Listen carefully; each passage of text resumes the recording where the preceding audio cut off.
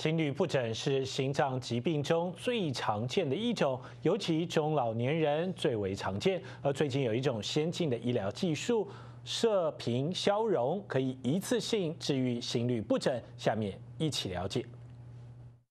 心律不齐的症状是头晕、乏力、胸闷、气短、胸口疼，容易导致血栓和中风。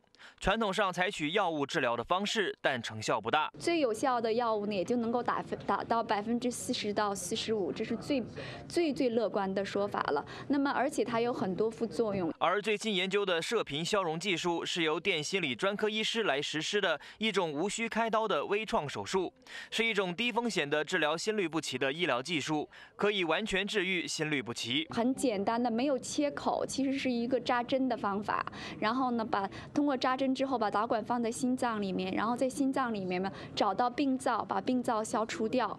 然后做完这个手术之后，导管也拿出来，也没有针，所以呢，你没有什么窗口。尽管全美大型医院已经开始启用射频消融技术治疗心律不齐，但在南加华人聚集地区还是首次引进该技术。因为这个手术很很啊，以前都是从大的医院才可以做，现在我们可以把它带到来啊，华人的地方啊，应该可以。呃，帮更多的病人。